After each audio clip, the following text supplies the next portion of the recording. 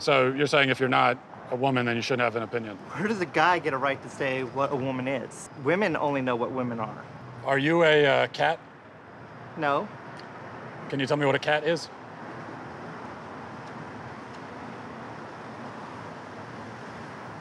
This is actually a genuine mistake. I am sorry I even came up here. You want to tell us what a woman is?